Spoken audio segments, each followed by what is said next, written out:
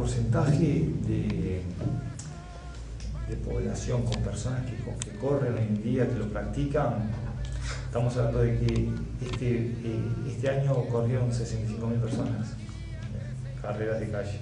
Para, los, para hacer un millón y medio de personas o tres millones en el país es, es altísimo.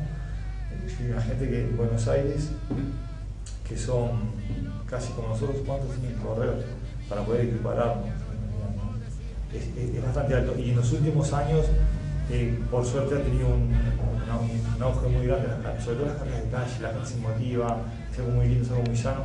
Y, sirve para con ese sostén social poder eh, impulsar este tipo de, acciones, porque está bueno que aprovechar que se pase una, una 10K y, ta, y darle publicidad a una marca, pero está bueno poder hacer una 10K y con la 10K hacer una escuela de atletismo para los niños, que en un futuro puedan llegar a correr 10K o puedan hacer lanzamientos, puedan hacer saltos, pero te digo, el atletismo en los últimos años en Uruguay ha tenido un desarrollo bastante grande. Eh, son pocos. Tiene, tiene espacios que están buenos, que a mí me ha pasado en otros países no, no encontrar lugares donde sentirme cómodo para poder correr. Eh, pero acá en, en, las zonas, Rambla, Prado, Barque Valle, hay lugares buenos. Pero yo veo que la gente que vive en Manga, la gente que vive en Plata, la gente que vive en esos barrios tiene que salir correr. Eh, el sábado fui en asado en La Paz.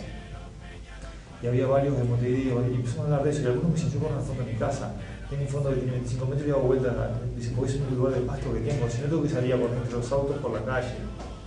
Y eh, faltarían, la verdad. Y se ha trabajado, se, han puesto gimnasios en, las áreas verdes, en la rambla se han puesto muchos gimnasios, pero falta, sobre todo en, en las zonas más populares, Montevideo para mí falta. Bueno, el atletismo comienza eh, cerca del 2009 con un grupo de atletas que corríamos para diferentes clubes y éramos hinchas de, de, de la institución, socios de la institución y empezamos a, a vivir eh, el pasaje, la reestructuración de Peñarol, cómo se fue eh, reorganizando internamente, porque cuando fallece Damiani queda todo muy desordenado, se sacan todos los deportes menores, empezamos a eh, intentar armar otro tipo de deportes dentro de Peñarol.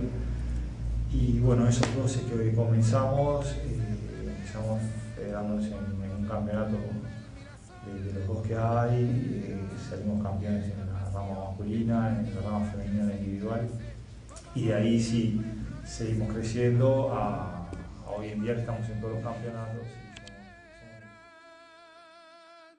gratis. La idea nuestra es que todos los gurises de Peñarol puedan llegar a practicar un deporte motivados por ponerse la camiseta de Peñarol, dejando de ser un espectador en una tribuna y pudiendo realmente ser partícipe de, su historia. ¿no? Siempre digo, mejor ser lluvia que va a llover.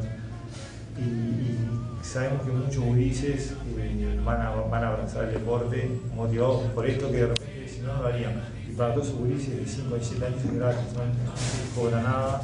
Eh, lo que fue la financiación de esta escuela se hizo con la 5K Peñarol, organizamos una carrera, 2.000 personas, un éxito, fue una mejores carreras de, de la temporada y con eso financiamos la escuela. Las disciplinas del atletismo son, en realidad cuando empezamos, por ser todos corredores de fondo y de medio fondo, practicábamos, practicamos esas disciplinas. Luego nos fuimos, eh, estamos tratando de extendernos a lo que es eh, todo lo que es el atletismo, digamos, velocidad, saltos, lanzamientos, eh, marcha, obstáculos, donde eh, nosotros ahora lanzamos la escuelita de atletismo, va a funcionar lunes, miércoles y viernes en la pista a las 5 de la tarde, es gratuita para todos los gurises y ahí van a practicar chicos todas las disciplinas. están un poco limitados por, por, lo que es el poder de contar de los impuestos, poder tener una retribución. Entonces ellos eh, apuestan a un atleta o algo es básicamente pérdida, porque antes en otros países sí pueden descontar los impuestos, puede, hay, hay todo. Yo no soy economista ni soy contador, pero los que trabajan en esa área me, me cuentan que se complica un poco con ese tipo de cosas. Entonces muchas veces las empresas lo apoyan por un, una reducción en publicidad que a veces no es la que esperan o a veces es la que esperan, ¿no? Pero, y, ahora recién se está empezando a hablar de, de, marcas en construcción de con dinero, recién ahora se está empezando a, a ver algo como profesionalizarse. Pero si no es becas, eh, las empresas es, muy difícil que te apoyen, sobre todo con dinero, te apoyan a veces con pasajes, vitaminas, ropa. Sí, tenemos dos profesores que son especialistas en carreras eh, y una profesora que, estudió en, Cuba, vino hace un año, eh, hizo licenciatura en atletismo en Cuba durante cinco años, egresada con honores. Creemos que es la mejor entrenadora que podemos tener acá en Uruguay. Y aparte son tres personas jóvenes, buscamos gente joven, buscamos apartarnos un poco de, lo que puede ser un ambiente viciado y que sean gente jóvenes que van a trabajar, que últimos gurises y que sean hinchas eh, nuestra escuela ahora, como sponsor, tenemos a lo que es la Intendencia de Montevideo, que, que, nos apoya sobre todo en la realización de las cinco Peñarol, que es, digamos, la fuente, de financiamiento de la escuela. La, la DINA, de la Dirección Nacional de Deporte, está como sponsor de la escuelita también de la misma manera al, facilitarnos hacer la carrera. La Confederación Atlética de Uruguay, por ser nosotros un equipo de la Confederación Atlética y por ser la carrera, siempre hay la carrera porque es el nacimiento de la escuela, el soporte y la carrera, incluso la web de la carrera, la 5K Peñarol, eh, es la página de información de la escuelita. Queremos dejarlo totalmente eh, ligado.